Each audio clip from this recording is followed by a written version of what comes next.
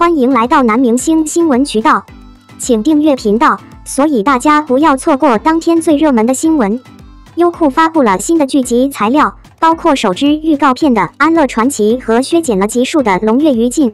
这段时间在优酷平台播出的多部剧集产生了异常优质的数据。随着《沉香如屑》和《冰与渔火》的播出，大家对后续即将登陆优酷平台的作品的关注度也越来越高。大家认为，平台在选剧方面还是有高度选择性的，因为这两部剧可能被认为是过去一段时间内比较火的影视剧。据悉，下周优酷将有三部新剧上线，并会提供最新资料。即将在优酷热播的《安乐传奇》《龙跃于禁》《偷偷摸摸》等作品也是值得期待的作品。这三部剧都非常受欢迎，自开拍以来，他们的热度一直很高。路透社的一些曝光就证明了这一点。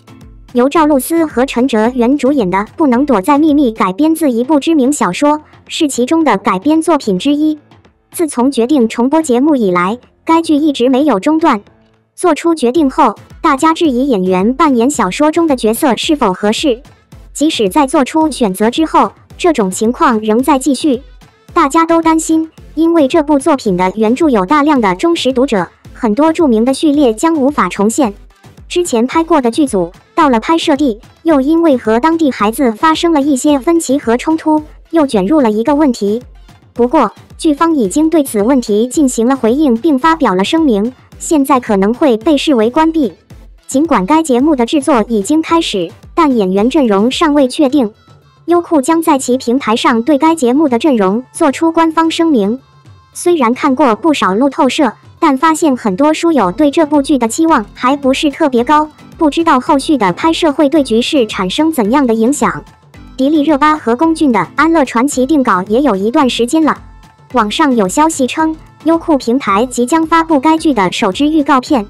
两人的合作其实是万众期待的，而且自从电影拍完之后，大家能看到的材料就只有几张宣传海报或者单张或组合的宣传照。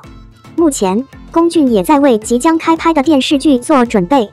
除了他和杨幂主演的《狐妖小红娘》的拍摄，最近路透社对龚俊病情的报道也非常正面。